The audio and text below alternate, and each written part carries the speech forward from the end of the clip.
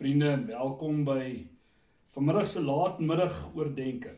Ons gaan vanmiddag kyk na Job hoofstuk 7. In Job hoofstuk 7 gaan Job met sy toespraak aan waarmee hy in Job hoofstuk 7 mee begin het. En as ons 'n bietjie teruggaan in die verhaal, dan kan ons nog onthou hoe Job in hoofstuk 3 kla oor wat met hom gebeur het. En daar het baie met hom gebeur en Job het rede om te kla. In hoofstuk 4 en 5 antwoord Elifas, een van Job se vriende vir Job. In hoofstuk 4 en 5 sê Elifas vir Job 'n paar dinge. Job, hy sê vir Job, Job, jy word gestraf uh omdat hy Job omdat jy iets verskrikliks verkeerd gedoen het. 'n Groot sonde of 'n klomp sondes, maar jy het iets verskriklik verkeerds gedoen, sê Elifas vir Job. En dan sê Elifas ook vir Job dat God vir Job straf sodat God vir Job iets kan leer, iets daaruit kan leer. En ehm uh, Job se optrede, ehm um, sê Elifas dan, Job se optrede in hoofstuk 3 uh deur nie hierdie twee bogenoemde in ag te neem nie vir Job getuig van dwaasheid aan die kant van Job. Elifas sê vir Job, luister, jy het, het eintlik in hoofstuk 3 het jy opgetree soos 'n dwaas deur nie dadelik aan hierdie twee dinge te dink oor hoekom God dit oor jou pad gestuur het nie. In hoofstuk 6 en 7 bevat hoofstuk 6 en 7 bevat Job se antwoord dan op Elifas se toespraak en dan nog verdere klagtes van Job. Ons het in hoofstuk 6 gehoor, vriende, dat Job baie ontevrede is. En Job is baie ontevrede oor hoe God hom behandel het en nog steeds behandel. En Job is glad nie gelukkig hieroor nie, maar ook is Job ontevrede oor die behandeling wat hy kry van sy vriende. In hoofstuk 7 vers 1 tot 10 gaan Job dan verder aan met sy toespraak en ons lees daar. Is 'n mens se lewe op aarde nie maar harde arbeid nie en sy dae soos die van 'n dagloner nie. Sy lewe is soos die van 'n slaaf wat smag na koelte, soos die van 'n dagloner wat verlang na betaaltyd. So bring ek my maande deur met swaar kry, my nagte is net smart. As ek gaan slaap, dink ek, wanneer kan ek opstaan? Maar die nag sleep stadig verby en ek rol rusteloos rond tot dagbreek toe. My liggaam is oortrek van wurms vol rowe en stof. My vel is vol barste en dit eter aanhouding. My dae loop vinnig soos 'n wewerstoel, die draad raak gou op. Dink daaraan, o God, dat my lewe maar net 'n asempie is. Ek sal nooit weer voorspoed beleef nie. Die oë wat my nou sien, sal my nie weer sien nie. U sal nog so na my kyk, dan is ek nie meer daar nie. Soos 'n wolk weggaan en verdwyn, so gaan 'n mens dood en kom nie terug nie. Hy kom nooit terug na sy huis toe nie en sy plek is vir altyd leeg. Vriende, dit lyk nie asof Job nou met sy vriende praat nie. En in hierdie gedeelte verwys Job amper filosofies na die algemene toestand van die mens en daarna verwys Job na sy eie toestand spesifiek. Job kan nou sien dat die mense lewe net uit harde werk en moeite bestaan. Niks is maklik nie. Alles is moeite, alles is moeilik. En vriende, Job is nie verkeerd nie. Al was die mens geskep om nie hard te werk en ons lees daarvan in die Genesis verhaal is harde werk egter deel van die straf wat die mens gekry het uh, na die sondeval. Dis kan Job nie eintlik die feit dat die mens hard moet werk en dat die lewe vol moeite is. Eintlik kan Job nie hierdie voor God se deur plaas nie. Die idee dat die mens se lewe net uit harde werk bestaan en net moeite is en dat alles wat 'n mens maar aanpak net verniet is is, is ook deur is ook deur ander wysheidskrywers uh, raak gesien. En ons dink nou veral in waar Prediker sê Prediker 2 vers 17 tot 23, Prediker 5 vers 18 tot 17 dat alles wat die mens maar aanpak is verniet. Nou kom ons by Job en hy en hy sê self sy nagrus. Daar waar hy nuwe krag moet kry, daar moet hy weer voel of hy uh weer uh, geënergeer is vir 'n nuwe dag. Selfs dit is vir hom harde werk. In vers 5 met beelde wat vriende intens grafies is, beskryf Job sy eie fisiese toestand. Nou ons moet nou besef dat Job nie iemand anders te beskryf nie. Hy, hy hy beskryf homself. Hy hy sit op die ashoop, vriende, en hy's besig om met 'n potskerf sy rowe te kap. Die sy fisiese toestand is verskriklik en is pynlik en is vir Job natuurlik skandelik om in hierdie fisiese toestand te verkeer. En hierdie pynlike skandelike toestand vir, vir Job is erger as die dood. Job verlang eintlik na die dood, want Job sien die dood as beter as hierdie fisiese toestand wat hy nou het en dan, dan kry ons 'n interessante beeld daar in vers 6 van die wewerspoel. En dan sien ons daar dat die wewerspoel wat eintlik daar is om uh om wol te maak, iets produktief voor te bring, hier sê Job dat sy lewe eintlik maar niks voortbring nie. Ons vind in die verdere verse 7 tot 10 die idee vriende dat die God die mens se lewe vinnig en kort gemaak het. Nou hierdie idee word gedeel in Psalms. Ons vind dit veral in Psalms 89 vers 47 tot 48, Psalm 39 vers 4 tot 6, Psalm 62 vers 9, Psalm 144 vers 3 tot 4. Maar in hierdie psalms gebeur dit dat die psalmdigter ook hierdie idee het dat God die mens se lewe nietig en kort gemaak het, maar vir die psalmdigters bring dit hulle tot 'n nuwe verstaan van die van die grootheid van God. Want al het God die mens se lewe so nietig en kort gemaak, gee God nog steeds aandag aan die mens. Selfs met hierdie kort en nietige bestaan van die mens, is God nog steeds lief vir die mens. Versorg God nog steeds die mens. Beskerm God nog steeds die mens. Soos die psalmdigter gebruik hierdie toestand van die mens as eintlik 'n basis vir lofprysing aan God. By Job is dit nou anderste. Job kyk na hierdie kort en nietige bestaan van die mens en Job sê hierdie maak hom net moedeloos. Hierdie maak hom net erg depressief, erg moedeloos en hooploos en hy wil nie meer verder aangaan nie. Kom ons kyk nou na vers 11 tot 16. Nee, ek kan nie stil bly nie. In my beproewing wil ek praat, in my bitter lyding wil ek kla. Is ek dan die see dat u my aan bande wil hê? Of 'n see monster dat u my laat bewaak? As ek dink dat my bed my sal troos of dat ek verligting van die pyn sal kry as ek lê, dan verskrik U my in my drome en oorval U my met nagmerries, sodat ek eerder verwrig en dood sou wees as om te lewe. Ek wil nie meer. Ek sal tog nie vir altyd lewe nie. Laat my staan. My lewe is niks meer werd. Vriende, die woede wat wat Job vir God het is is intens. Job is kwaad vir God.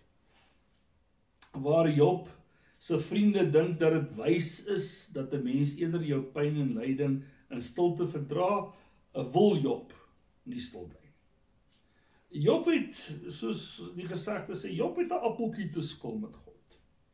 Job is ongelooflik ontevrede oor die behandeling wat hy by God kry. In vers 12 weet ons dat Job nou met God praat, want dit is net God wat die seun bande kan lê en die seunmonster kan tem, soos Job praat nou met God. En selfs Job se slaap slaap en ons het dit in die vorige vers gesien, bring nie vir Job ontvlugting nie. Job is klaar Job wil nie meer verder nie. Vriende, ek wil net hier vinnig iets sê oor die beelde wat Job hier gebruik. Omdat Job in poesie praat, is hierdie beelde uh, betekenisvol, maak nie saak uh, wie dit lees of in wat se of wat se tyd jy leef. Uh hierdie hierdie beelde kan jy lees in hierdie pragtige poesie en, en jy kan regtig voel dat dat dat dit dat dit resoneer met jou, dat jy ook voel soos Job hier voel. En dis wat hierdie poesie van Job so kragtig vir ons maak. Kom ons gaan aan. Verse 17 tot 21. Wat is die mens dat u soveel van hom maak, dat u hom so op die hart dra, dat u hom van dag tot dag toets, hom van oomblik tot oomblik op die proef stel? Wil u nie van my af wegkyk en my 'n oomblik laat asem skep nie? As ek gesondig het, wat kan ek teen u uitrig? U wat die mens gedurig oppas. Waarom het u my u teiken gemaak? Waarom moet ek vir u 'n las wees? Waarom vergewe u dan nie my sonde en vergeet dat ek verkeerd gedoen het nie? Binnekort sal ek in die graf lê. U sal my soek, maar ek sal nie meer lewe nie. Job gaan nou verder met hierdie gesprek, vriende, met met God. En baie van hierdie verse wat ons ook nou hier lees, sal ons herinner aan Psalm 8 waar die vraag ook gevra word vir God, wat is die mens dat God aan hom dink? Dit is ook die vraag wat Job vra. Maar Job se eintlike vraag is vriende, hoekom het God vir hom uitgekies om hom te straf? Wat is God se rede dat dat hy soveel moeite met Job doen? Job se vriende sal natuurlik 'n vinnige antwoord vir Job reg hê en vir Job sê maar God doen soveel moeite met jou Job want jy het 'n groot sonde gepleeg. Jy het iets baie verkeerds gedoen in die oë van die Here. Dis hoekom God hierdie moeite met jou doen. Maar ons weet Job het niks verkeerds gedoen. Job is onskuldig en Job voel dat hy die reg het om die dinge van God te vra. Vriende, daar is twee belangrike teologiese implikasies wat ons in hierdie gedeelte van Job al klaar sien. En en die eerste is is die vraag: Is die lewe net veronderstel om goed te wees of is die lewe net veronderstel om sleg te wees? Baie mense, vriende sal sê dat die lewe nie net die een of die ander is nie. Die lewe is goed en die lewe is sleg. Sommige kere as jy aan die ontvangkant van die sleg van die lewe is en ander kere is jy ook aan die ontvangkant van die goed van die lewe. Maar dit is ook die geval.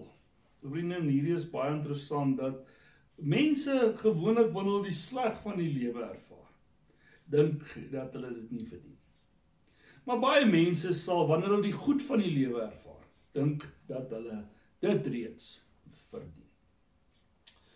Job dink nie dat hy dit verdien wat God vir hom gee. Job dink dit glad nie. En Job is reg. Vriende, Job verdien dit.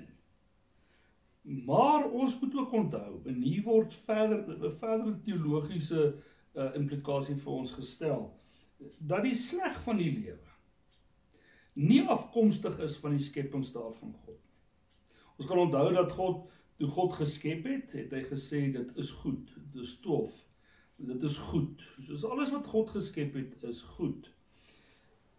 Maar by die sondeval waar die mens die die sonde gepleeg het deur in rebellie teen God te kom, het die sonde, die sleg uh in die wêreld ingekom. En daarom is stryd, moeite en lyding deel van die menslike bestaan. Ons kan nie daarvan wegvlug nie. Ons kan dit nie vermy nie. Maar vriende wat belangrik is, wat ons doen daarmee. Hierdie sleg wat oor ons lewens kom, hierdie lyding, hierdie pyn, hierdie smart.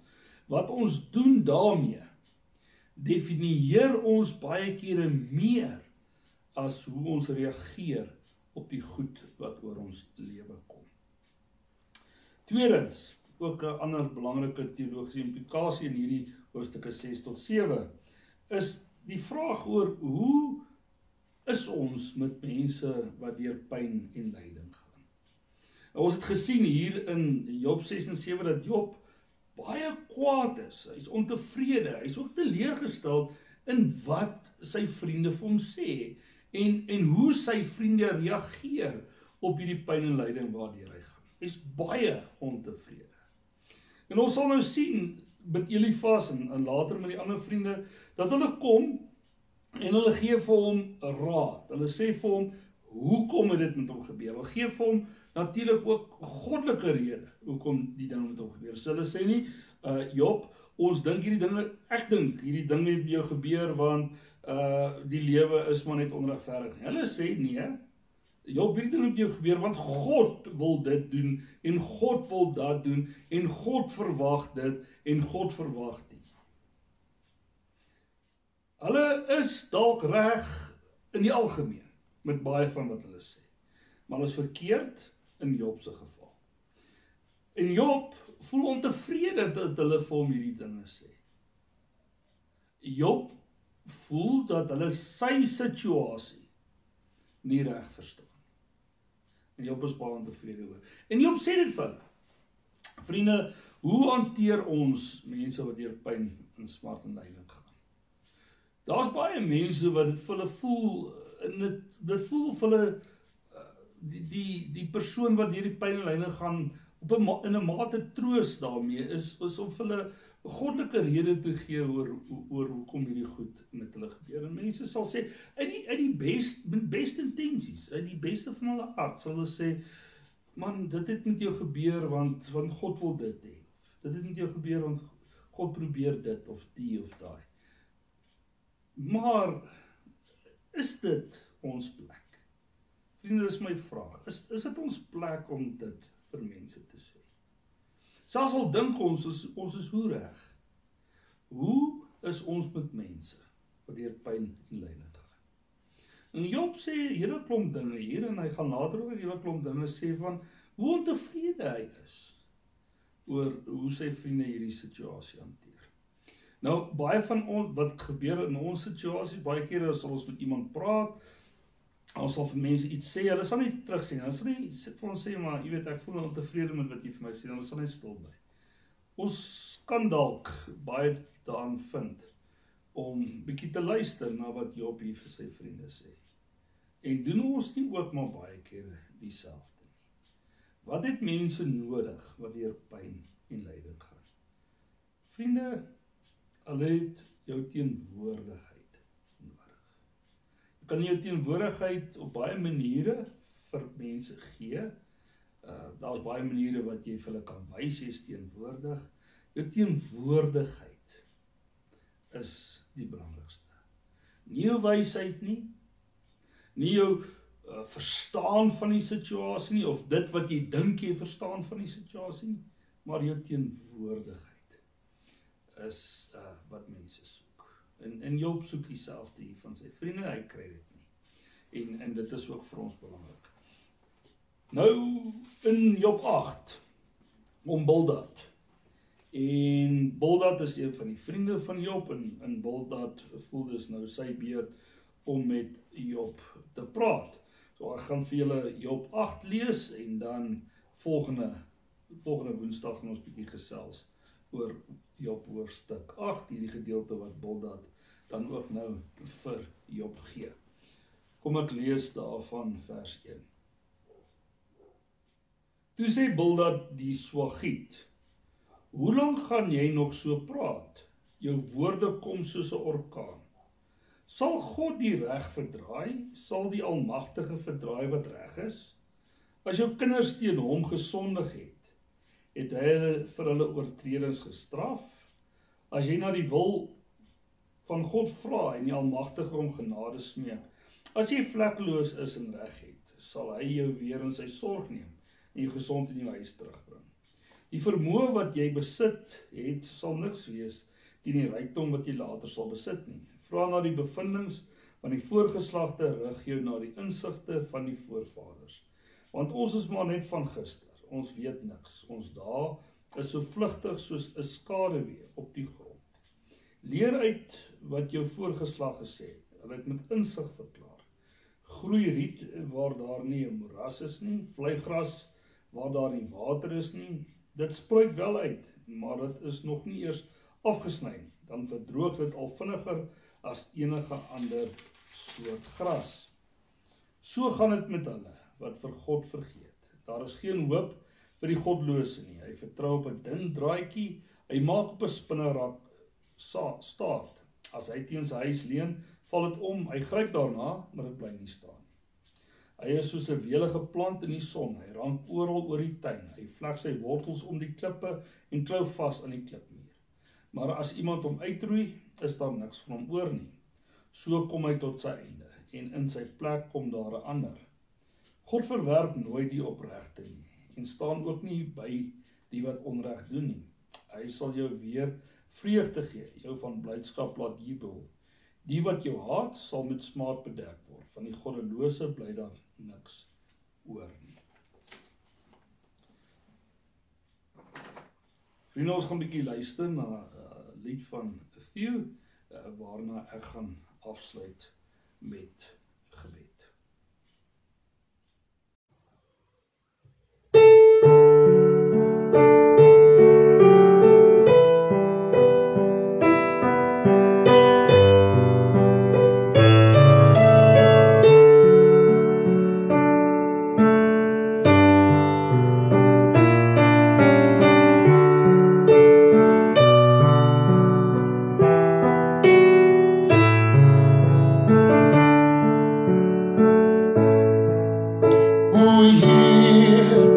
mens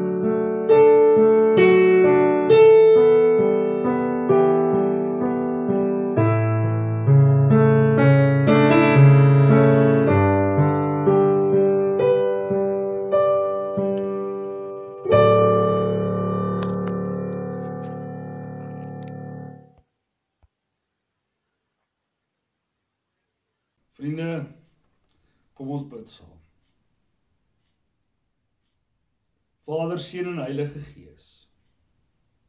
Ons is baie kere kwaad oor die slegte dinge in die lewe wanneer dit met ons gebeur. Maar Here, ons kan ook nie die slegte in die lewe misdraad nie. Ons weet egter Here dat U ons nie uit U hand sal val nie. U greep is te styf want U hou ons vas met 'n greep van liefde. Vader, Seun en Heilige Gees, ons weet dat pyn en seer vir baie mense die afgelope tyd 'n werklikheid was en is. Ons is egter ook bekommerd oor die geweld in die land, maar net U kan harte verander. Verander ook ons harte. Dit is so maklik Here om die geweld in ander raak te sien, maar daar is ook geweld in elkeen van ons harte. Maak ons nie teer. Ons vra dit in die naam van Jesus Christus, ons Here.